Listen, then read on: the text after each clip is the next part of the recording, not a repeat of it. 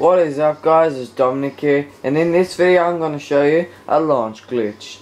So let's get into the video. What you need is the any car then come to the location I'll show you when we're in, in the air. So what you do is go up to the fence and you drive to the side and it's to that until you're up in the air.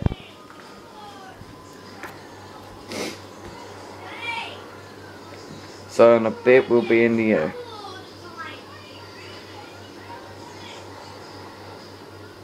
While I'm waiting for my friend to do it, I'll show you the location. Ah, here we go. There. We're in the air. And we're flying. So, the location you gotta go to is the location right there. So that location right here and you go there. So make sure you leave a like and subscribe for more. See you in the next video.